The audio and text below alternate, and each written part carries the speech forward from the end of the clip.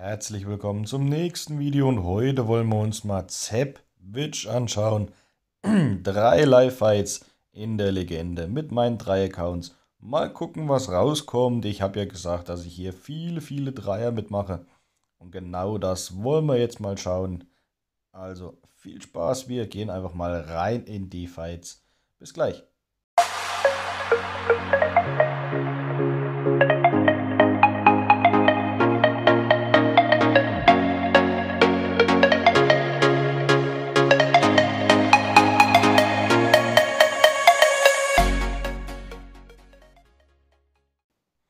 Fight Nummer 1. Los geht's.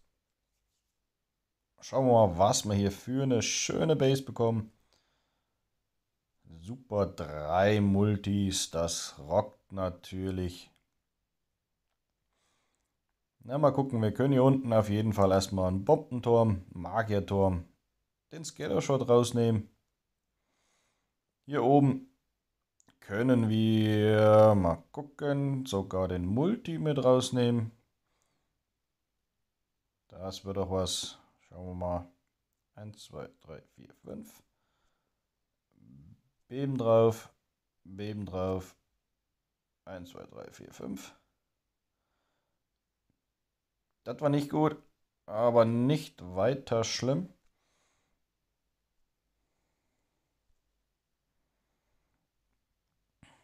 So, zum Rathaus wollen wir natürlich. Da geht es hier schön rein.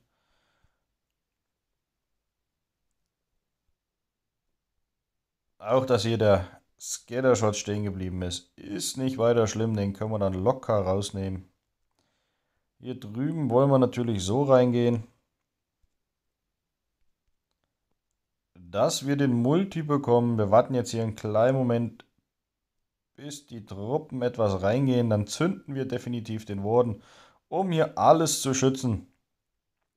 Das sieht doch relativ gut aus. Den Royal Champion zünden. Jetzt geht es rein Richtung Rathaus. Wenn die ersten Hexen hier berührt werden, dann sofort den Frostzauber aufs Rathaus drauf. Der Royal Champion holt hinten raus locker den Multi. Das war der Plan. Das Rathaus ist raus. So, wo geht's weiter? Die Hexen laufen hier schön drumrum. Die Queen auf der rechten Seite. Mal gucken, ob wir hier... Da will ich nicht hin, da will ich auch nicht hin. Ah, das ist natürlich super, dass jetzt alles außenrum läuft und nicht Richtung vom Multi. Das ist eine Katastrophe. Das heißt hier, die Truppen gehen nach und nach weg. Werden aber ein paar schöne Prozente. Das steht schon mal fest.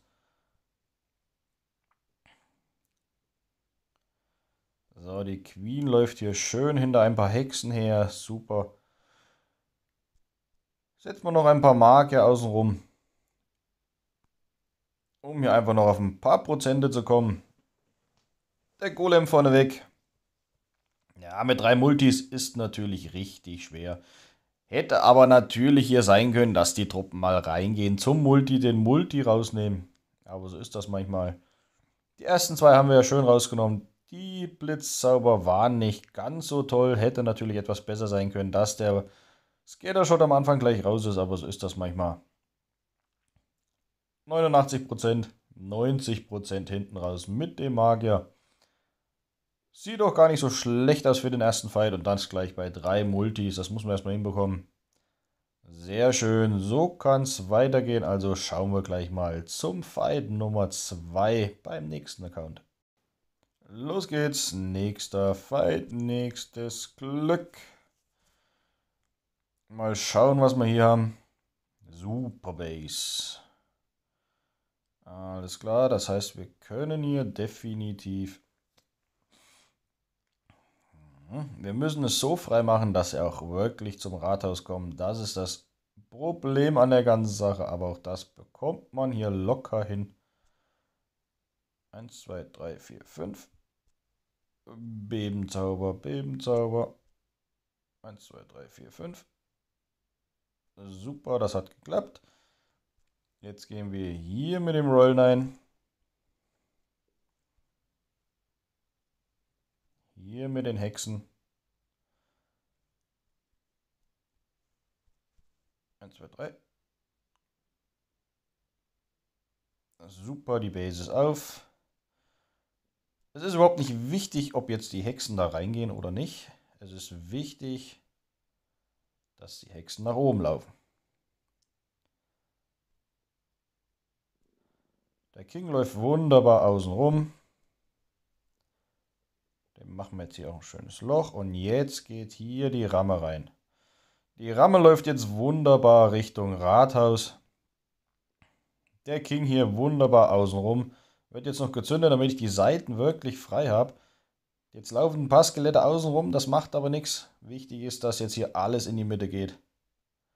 Ja, die Ramme muss ein bisschen... Jetzt hat sie aufgemacht, das heißt, jetzt haben wir kein Problem mehr hier zum Rathaus zu kommen. Frühzeitig den Warden zünden. Die Clanburg lenkt hier ein bisschen ab, aber das Rathaus sollte fallen. Jetzt, wo der Warden weg ist. Ah, einige Hexen haben überlebt, das ist super. Jetzt heißt es rein in das Compartment, nimmt den Single raus. Super. Jetzt spielen wir hier noch den Kopfjägerin, um hier die Helden auszunehmen. Und dann haben wir, denke ich mal, ein paar gute Prozente geholt sicher das Rathaus geholt, was ganz wichtig ist. Jetzt geht es nur darum, laufen die Hexen vor der Queen, laufen die Hexen nicht vor der Queen und die Queen läuft sensationell bis hinter zum Single Inferno. Das ist natürlich richtig geil. Manchmal frage ich mich wirklich, was die Alte so denkt. Aber schaut euch an, wenn jetzt mal die Hexen mit außen rumgelaufen wären, wäre das hier ein Traum geworden.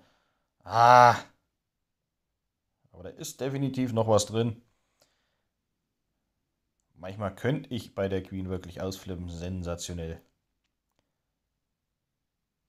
Warum läuft die nicht hinter den Hexen?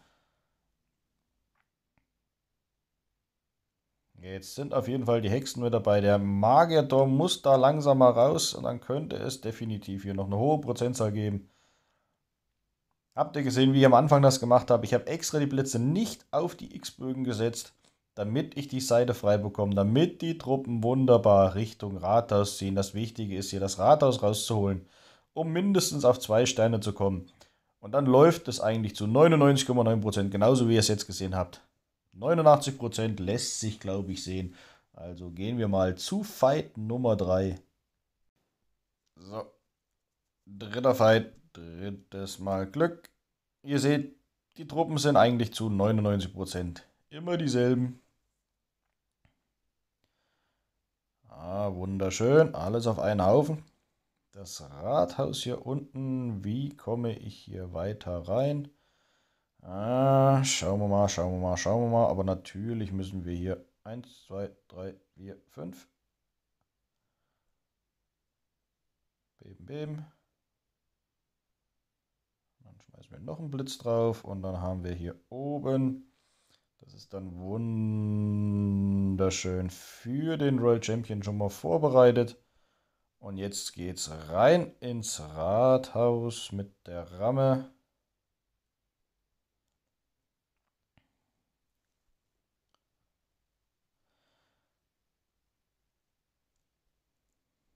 King, Queen, Warden.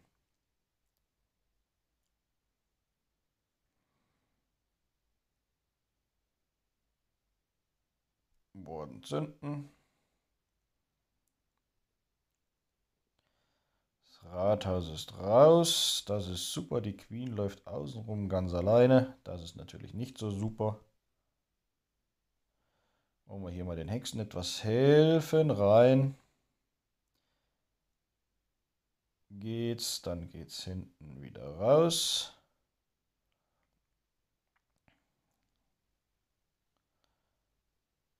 So, das läuft schon mal so einigermaßen. Jetzt muss man natürlich mal sehen, was man hinten rausmacht. Ah, natürlich kommt da hinten die ganzen Teslen raus. Super, trotzdem will ich da natürlich reingehen, um mir den Single rauszunehmen, um hier eventuell noch ein paar Prozente zu holen.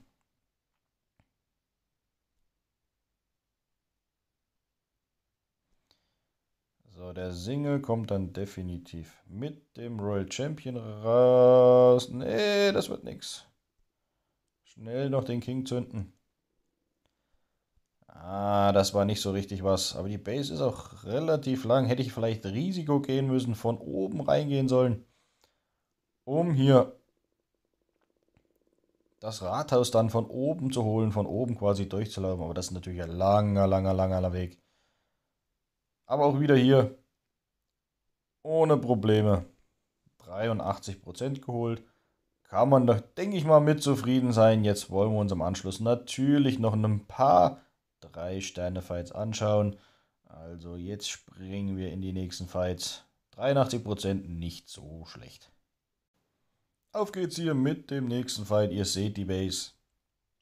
Natürlich hier oben erstmal Ziel ist es wichtig, die Scattershots rauszukriegen. Fünf Stück.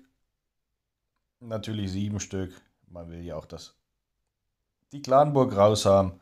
Und dann hole ich hinten noch mit den restlichen Blitzzaubern ein Compartment frei. Das ist ganz, ganz wichtig. Das habe ich gemacht, damit der Royal Champion von rechts reinlaufen kann und dann mit den Truppen in die Base reingehen kann.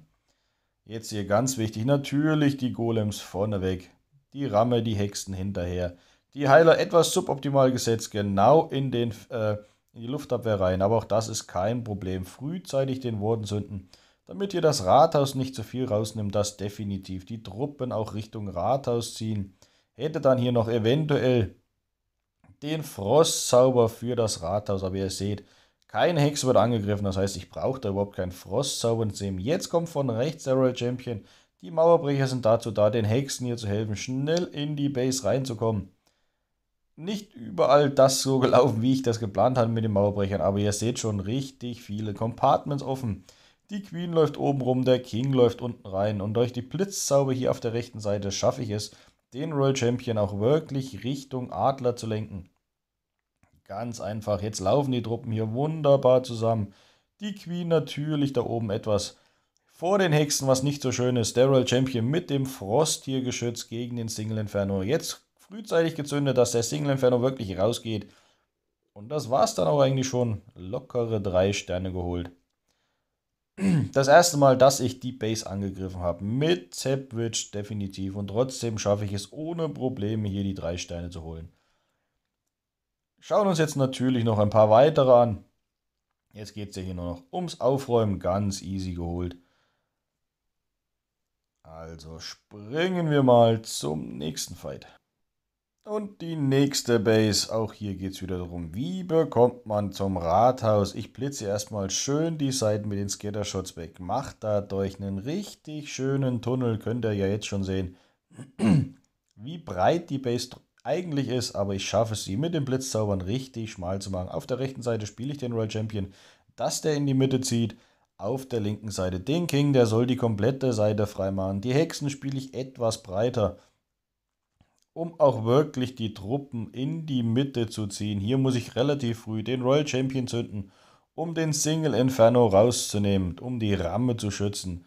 Funktioniert nicht ganz, das heißt, ich muss hier auch noch den Frostsauber aufwenden. Wichtig ist, dass die Ramme da durchgeht, die muss einfach rein. Schade, dass die Golems außen rumlaufen, aber auch das ist kein Problem. Schaut euch an, eine Hexe außenrum mit einem Magier dahinter, so viele Skelette mit dabei, die hier richtig fett aufräumen. Der King, wie gesagt, richtig schön dabei. Und jetzt geht's rein Richtung Rathaus. Kann nichts mehr machen mit meinen Helden da drin. Kann natürlich die Queen noch zünden, den King noch zünden. Aber jetzt geht es darum, das Rathaus darf nicht auf die Hexen gehen, weil auch keine äh, Heiler mit dabei sind.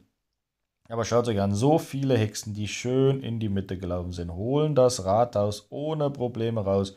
Die gegnerische Hexe kann da natürlich nicht viel machen. Und so einfach kommt man dann auf die drei Sterne. Wichtig ist ja hier, hohe Prozente, zwei Sterne zu holen. Aber auch das reicht natürlich manchmal nicht auf. Schaut euch an, wie wunderschön die Hexen mit der Queen da zusammen durch die Base laufen. Und dann kann man da natürlich relativ easy auf die drei Sterne gehen. Hab euch ja gesagt, dass ich hier richtig, richtig viele hohe Prozente und auch drei Sterne Fights hinbekomme. Das schafft ihr definitiv auch. Ein paar Sachen muss man natürlich beachten, wie die Base hier mit den Blitzzaubern so schmal zu machen, dass man auch hier wirklich eine Chance hat, dass die Hexen zusammenbleiben. Das ist ganz wichtig. Und dann kriegt man hier dann locker auch drei Sterne. Also springen wir mal zum nächsten Fight. Also eine wunderschöne Ringbox, keine Ahnung, Base. Auch hier die Blitzzauber natürlich auf die Scattershots drauf. Die Multis sind raus, was will man mehr? Hier mit Absicht das Rathaus aktiviert. Und auch hier kommt von links der Royal Champion. Soll hier die Seite etwas freimachen. Hab mich hier entschieden, den Golem vorne wegzuschicken, um die gegnerische Queen schon mal rauszunehmen. Mit ein paar Hexen dahinter kann man natürlich wunderschön die Seiten freimachen. Die Hexen ziehen nach oben. Die Skelette nehmen die gegnerische Queen raus. Was will man mehr? Das gleiche auf der rechten Seite mit dem King vorneweg. Und dann sollen da natürlich die Skelette von unten gerade reingehen in die Base. Der King zieht nach rechts, holt hier den Royal Champion. Schaut euch an links die Skelette, wie wunderbar hier die die Base schon vorbereiten. Richtig schmal machen. Einfacher kann es gar nicht laufen. Die Base ist wirklich so simpel. Schaut es euch an. Die Heiler hier wunderbar mittig gesetzt, dass sie hier hinter den Hexen bleiben.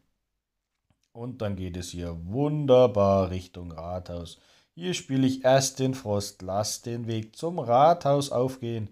Wenn dann, wie gesagt, die ersten Skelette, äh, Hexen irgendwie angegriffen werden, muss man den Worden zünden, um hier auch relativ schnell das Rathaus rauszunehmen und so viele wie mögliche Hexen natürlich zu behalten.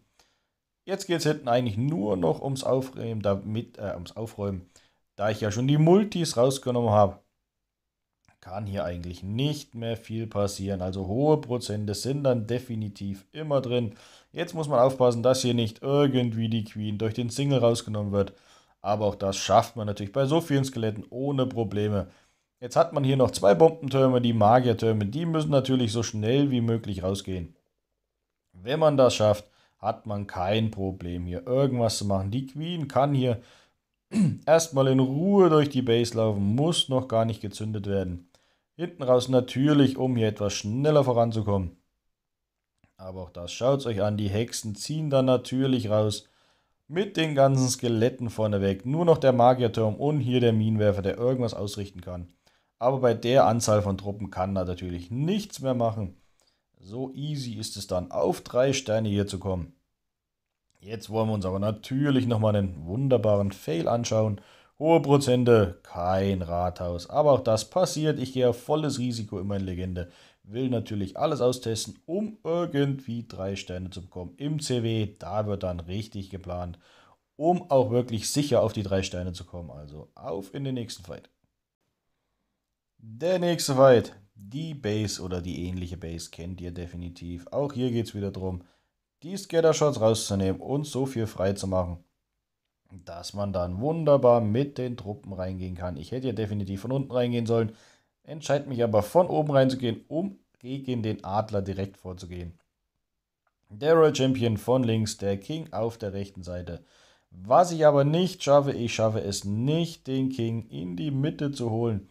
Hätte hier definitiv vorher erstmal einen Golem spielen sollen, ein paar Hexen dahinter, um die Seiten frei zu machen, dass der King dann auch wirklich reingeht. Jetzt kommen von oben, wie gesagt, die Hexen und ihr seht schon das Problem. Hier die ganze Reihe mit Magierturm, mit Bogiturm, den ganzen Lagern. Da zieht natürlich die Hexe nach rechts und nicht in die Mitte. Der Multi tut sein Übriges dazu. Jetzt geht es, wie gesagt, rein in die Mitte. Aber dadurch, dass die äh, ganzen Lager da auf der Seite stehen, hat man natürlich überhaupt keine Chance, hier irgendwas Richtung Rathaus zu bekommen. Hinten raus ein Multi, da vorne ein Multi, das ist natürlich richtig, richtig hart. Hätte ich hier definitiv etwas anders spielen sollen. Versuch hier noch irgendwas zu reißen, aber die Skelette ziehen leider mein ne Yetis da raus und die können nicht das Rathaus holen. Sehr schade, auch hier wieder hohe Prozente. Aber das Rathaus ist nicht gefallen. Passiert, muss man aber definitiv daraus lernen. Ich habe daraus gelernt, weiß jetzt, dass ich dann von oben anders mit dem, Ra äh, mit dem King vorgehen muss, um die Seite frei zu machen, wenn die Queen in die Mitte läuft. Ein, zweimal aufs Rathaus schießt, dann ist das Rathaus raus, dann fällt auch hinten raus der Multi und dann hat man dann keine Probleme mehr.